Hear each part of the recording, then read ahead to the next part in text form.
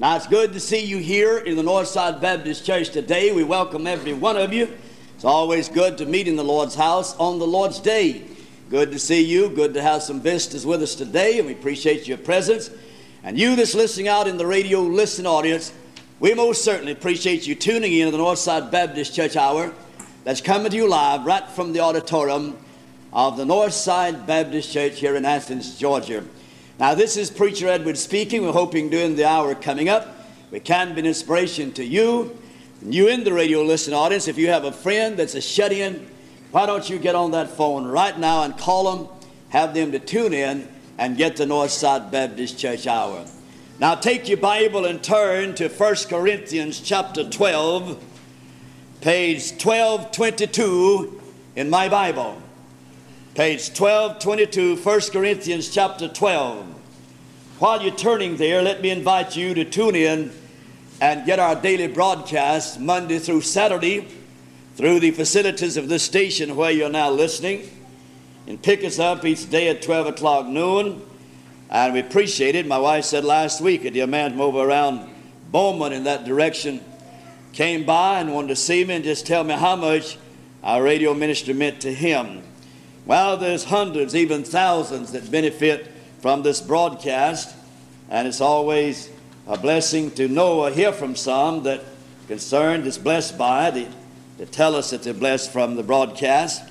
We have a list of many cassette tape. We have a 178, I believe, listed. And you can get these cassette tape. By the way, today's cassette tape would be 183. 183. We're speaking on the uh, th- subject of the theme in Christ. What does it mean to be in Christ. How do you get in Christ? What is, what is meant by that position? Tape number 183. And we're sending you a list of 170 some odd if you write in and request it. And remember, we send these tape out for a gift of $3 for each tape, and then the gift is used to help defray our radio expense. Now, my mailing address is Virgil Edwards, P.O. Box 501, Athens, Georgia 30603 is the zip code number. And you pray for me and write to me. Now, during these days of vacationing time, when a lot of people are taking trips on vacation and getting their vacations, sometimes it's very uh, difficult to maintain a faith ministry. Seems like this time of the year, in the next couple of months or three months, people seem to forget uh, the work of faith. I hope that you'll pray for us and not forget us on up until after Labor Day. It's always uh, rough for a faith minister to maintain his ministry. Now, this is not a fly by night ministry. If God permits us to see the last day of August, uh, then we'll, we'll have then broadcasted 37 years daily from the classic city of Athens, Georgia. 37 years every day. I thank God for the open door and the privilege and for the people that God raised up to help us get the gospel out. There's some few right here in the church today that's been standing by this ministry for from the very first day we went on the air. Some uh, almost 37 complete years ago. And we had some to help and drop out, and others to help and drop out along the way. But we thank God for everyone whom God has touched and showed them the value and need of this ministry that's invested in heaven and in souls and blessing the shut ins and people in prison and various other places. And it is a whole mission work, and we have thousands of listeners out there on the Lord's day and many, many listeners throughout the week. And we thank God for this open door. Now, in 1 Corinthians chapter 12, I want to begin reading with verse 1. Now, concerning spiritual gifts, brethren, I would not have you ignorant. You know that you were Gentiles carried away unto these dumb idols, even as you were led. Wherefore I give you to understand that no man speaketh by the Spirit of God calleth Jesus accursed, and no man can say that Jesus is the Lord but by the Holy Ghost. Now there are diversities of gifts, but the same Spirit. There are diversities of administrations, but the same Lord. There are diversities of operations, but in the same God which worketh all in all. But the manifestation of the Spirit is given to every man to profit withal. For to one is given by the Spirit the word of wisdom to another the word of knowledge by that same Spirit, to another faith by the same Spirit, to another gift of healings by the same Spirit, to another workings of miracles, to another prophecy, to another discerning of spirit, to another divers kind of tongues, to another interpretation of tongues. But all these worketh that one and self same Spirit, divided to every man servantly as he will. Now, let me pause here to say this. Some of these gifts are still in operation. Some of them ceased when the apostles passed off the scene and God gave the complete Bible. Then there's no need for some of these gifts he mentioned here. They ceased at that time, but some of them are still intact and still God is giving them today. Now, verse 12 For as the body is one, hath many members, and all the members that one body being many, are one body, so also is Christ. For by one Spirit are we all baptized into one body, whether we be Jews or Gentiles, whether we be bond or free, and have been all made to drink into one Spirit. For the body is not one member, but many. Now, my text is found in verse 13. For by one Spirit, notice the capital S.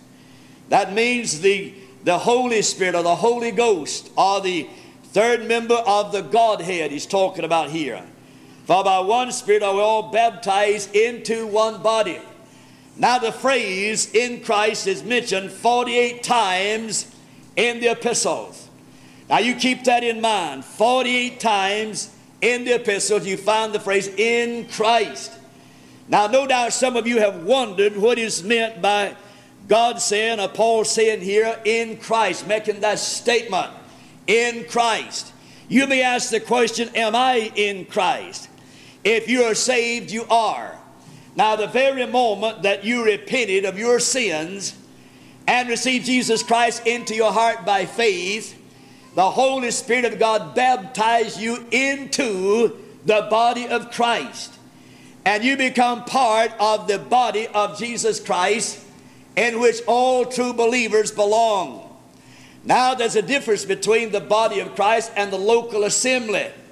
Now we have here a local assembly we call the Northside Baptist Church.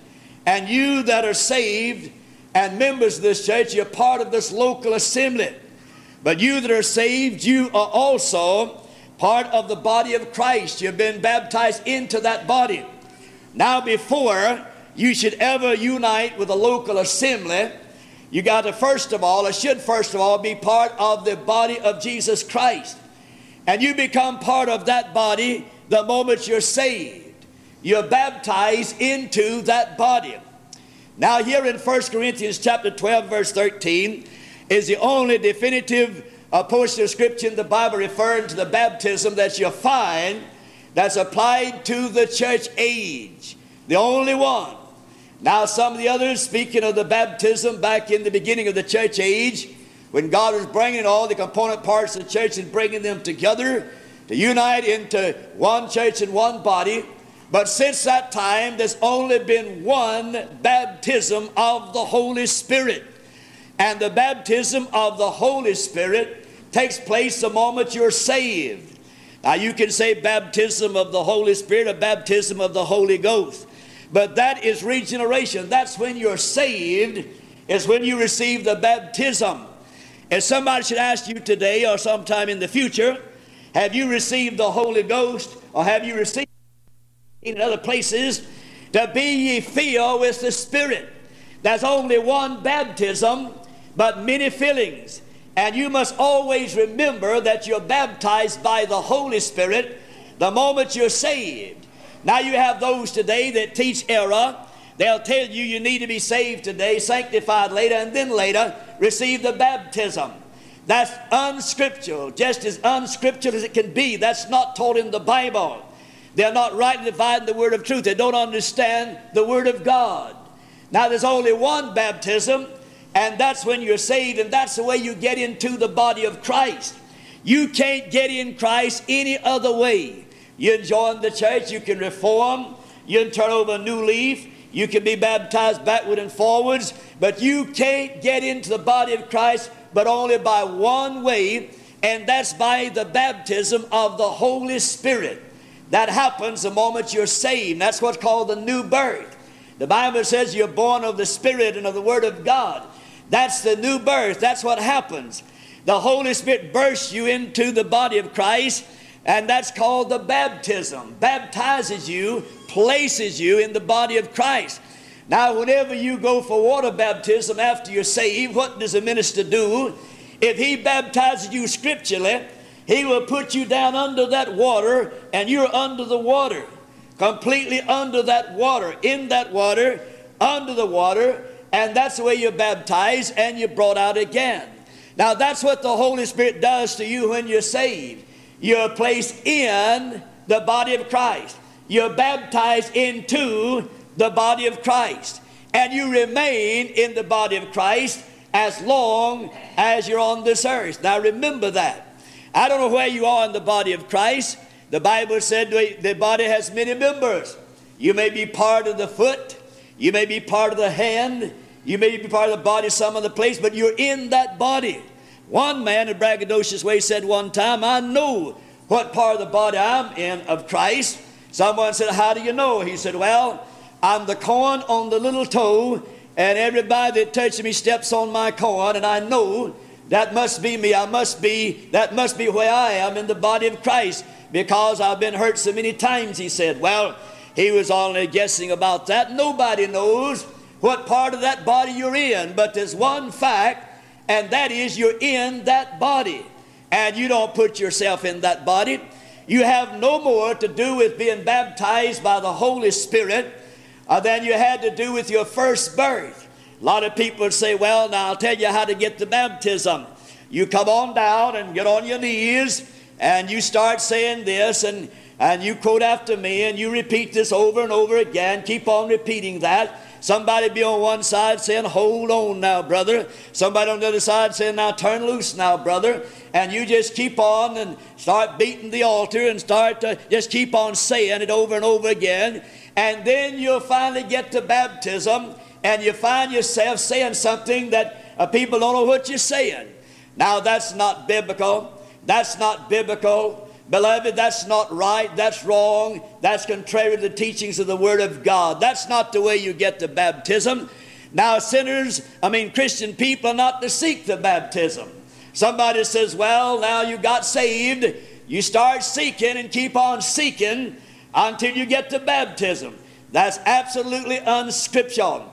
Nowhere do you find where you are to seek for the baptism. You have the baptism when you're saved, it takes place then, and then God places you in that body by the baptism. And then after you're saved, then what you need to do is line up with God's people in a local church where you can have fellowship, where you'll have a pastor to feed you and help you and guide you, where you can pray with others, where you can uh, pool your resources, where you can work together in getting out the gospel and be a member of the local assembly and say, That is my church. That's where I belong. I belong to that local assembly. Now, the local assembly is very, very scriptural. If you read your Bible in Revelations chapters 2 and 3, you find there's seven local assemblies in Asia Minor that God picked out to tell John to write to. Paul went all over the country establishing local assemblies. The local assembly is very important. Now, how would you like to live in a town or a nation where you had no church, no local assembly?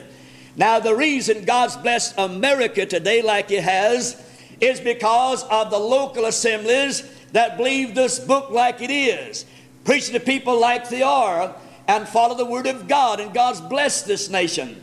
America's been good to the Jew, and God's blessed him for that.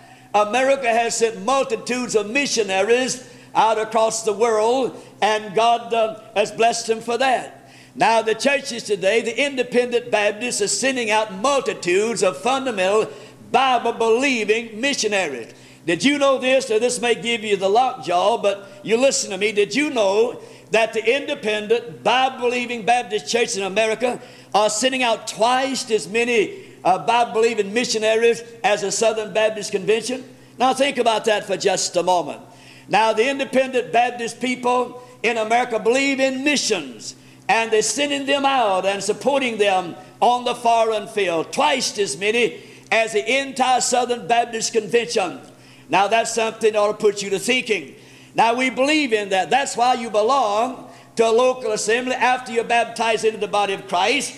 Then you come and unite with a local assembly and let the pastor baptize you in water. Now, that baptism in water doesn't add to your salvation any more than walking into a mule stable and make you a mule. Beloved, you're baptized into that water as a symbol. That's a symbol of the death, burial, and resurrection of Jesus Christ, and that is commended. Oh, you may say, now, Preacher Edwards, I remember uh, when I joined the church, they put a little water on my head. All right, and then if they put a little water on your head, what does that mean? You say, well, I, that's when I was baptized. No, no, you wasn't baptized, you were sprinkled. Now, if you got salvation in your feet, then just go ahead and wash your feet. That's all you need to do. If you only have salvation in your head, then go ahead and sprinkle a little water up there. That's all you need. But if you have salvation in your heart, then let the preacher baptize you the Bible way and immerse you, put you down under the water, and bring you out again. That's a biblical way. If you have never, if you have never been baptized, you have never been immersed, you've never been baptized. One of the things that disturbed me greatly when in my first trip to Rome, Italy, then from the Vatican, they have a huge uh, statue of John the Baptist pouring water on the head of Jesus. That stirred me. I, that, I'll tell you, that made me right angry. That's completely unscriptural. That's deceived millions and millions of people. They think that's the way he was baptized. He wasn't baptized that way. The Bible says he went down in the water and came out again. He was immersed in the river of Jordan. John the Baptist didn't just pour a little water on his head. If he'd have poured water on his head only, why would he have gone down in that river? He went down in the river that John might baptize him the biblical way.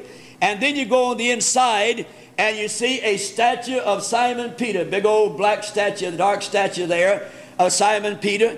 And so many people, it's made of iron, and so many people have kissed his toe until just about wore his foot halfway off. Millions and millions and millions of religious people have gone in there and kissed the toe of that uh, uh, image there of Simon Peter. That's pitiful, isn't it? A lot of people think that means something, kiss the toe of Simon Peter. It's abomination in sight of God. Why do that? Why would you want to kiss that iron statue, and kiss his toe until you wear the thing almost off his foot? That's all uncalled for. That's religion does that, not real true salvation. So you're in Christ if you've been saved. You go all the way back to the Old Testament and you find that God said to man, I want you to build a boat. And in that boat, I want you to place three stories. In that boat, I want you to put one door, and I want that door in the side thereof. And so old man Noah, for 120 years, he and his boys built that boat. That boat is about five times as long as this church. Our auditorium here is 100 feet long. And that uh, boat was uh, five times longer than this church. That boat was as wide as this church is long, at least 100 feet. That boat was as high as this church is wide, at least 45 feet.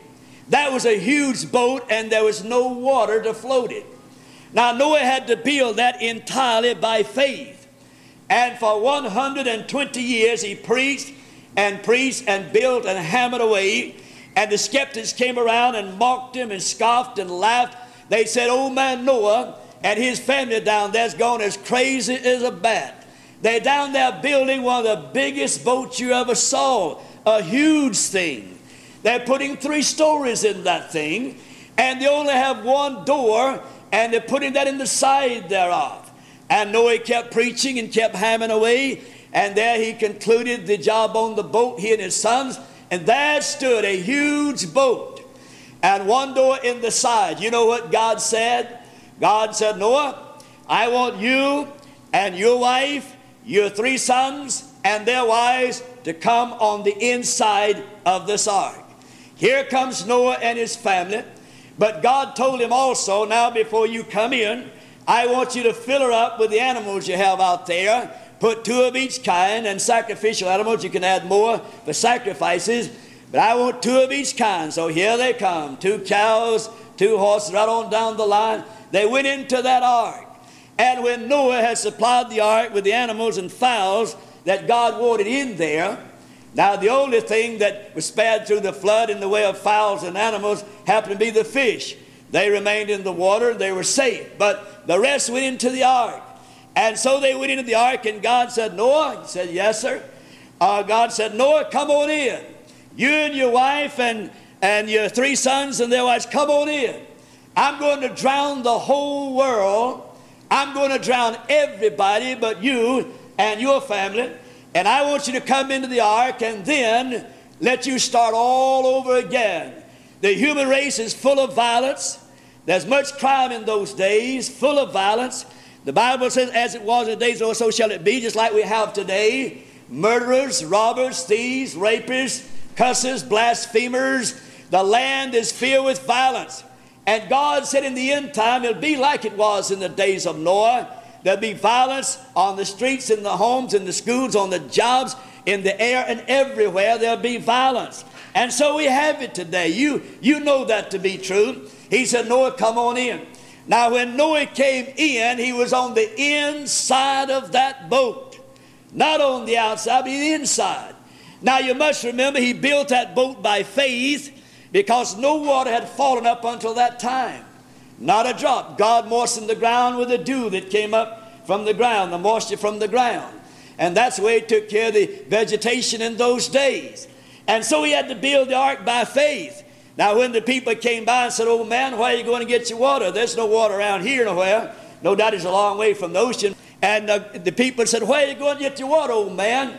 He said, Don't you, don't worry about that. I just do what God tells me to do and let God take care of the rest.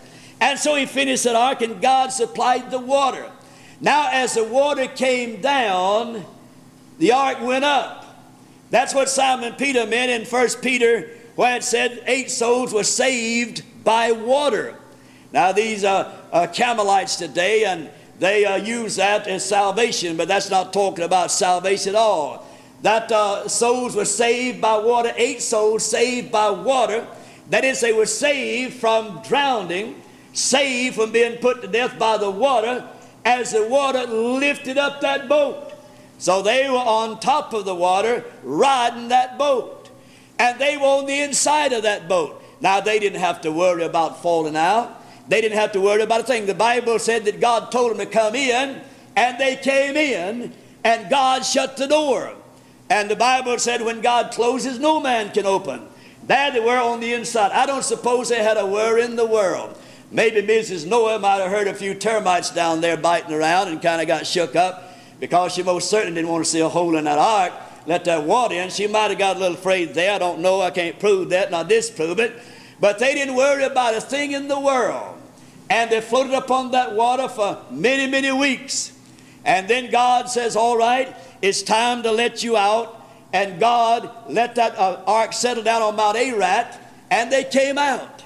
Now, beloved, they were in that boat, shut in by God, and they couldn't get out. Nobody could get in. God put them in there, and God took them out. Now, you listen to me. You are in Christ today. There's not enough demons in hell to get you out of Christ. You have been put in Christ. If the devil could get one of you, one individual, out of the body of Jesus Christ, he'd be more powerful than the Son of God in that respect, and he'd get every last one of us out. Therefore, the devil can't get one person out of the body of Christ. There's no way. If the devil could get us out of the body of Christ, about time the body was finished, the devil probably it down again and God have to start all over again.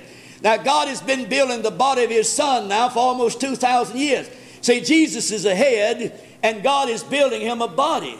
And the saved people make up that body. God will place you in one place, another in one, and God is building the body of His Son or the bride to be of his son. The Bible recognizes the man to be the head and his wife the body. And so God is building a body, a body for his son Jesus Christ. And the material God is using are born again believers. Saved people are making up the body of Christ. Not just mere church members or religious people. I'm talking about saved people. And God is placing them somewhere in that body. So you today, you're somewhere in the body of Christ. One thing I believe he's been building on it now for 2,000 years almost. And I believe the body is about finished. And you're in that body. And God knows those are His. You belong to Him. And don't you worry about falling out. A lot of people look at salvation like a person riding a bicycle. They think when they quit pedaling, the thing will fall over. Now, that's not salvation. Now, you have people that believe in human efforts and works for salvation that believe that kind of stuff. Salvation by grace through faith, not of yourselves. It's a gift of God, not of works, lest any man should boast. And so we don't work to get in, we don't work to get out. God puts us in by faith, and God keeps us by His power. And God is building Himself a body, a body for His Son.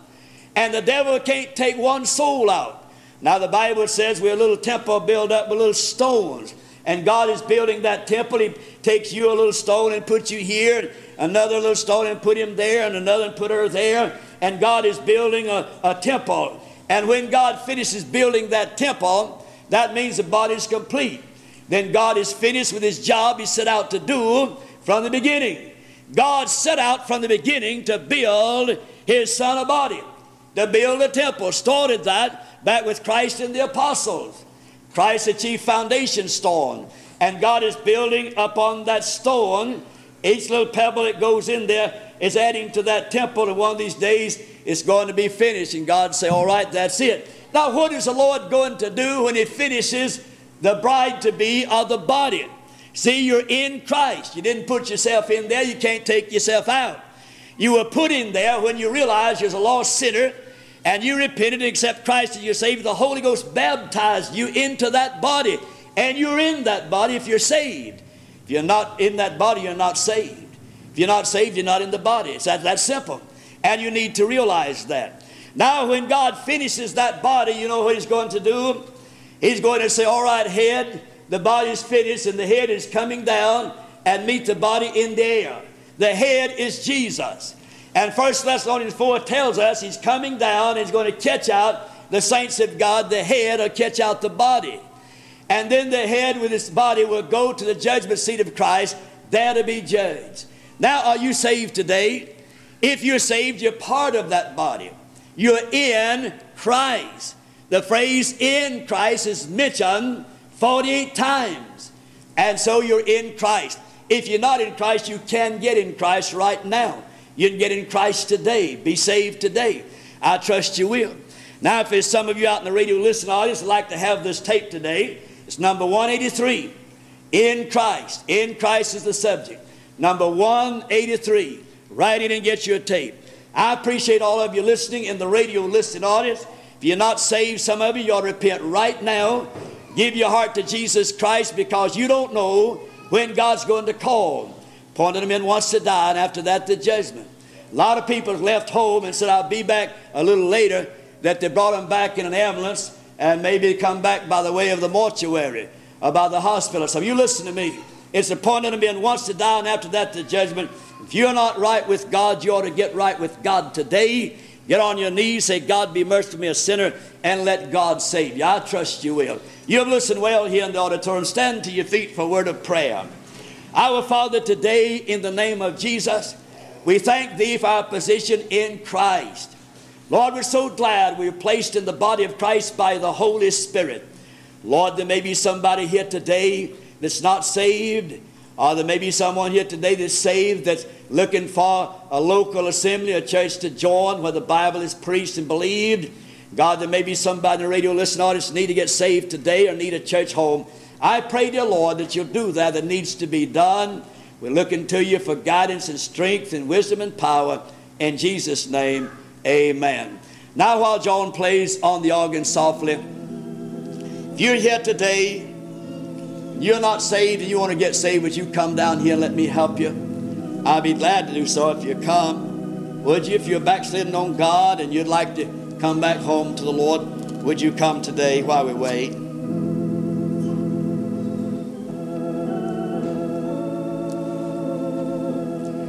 I've delivered the message I felt that God would have me to deliver.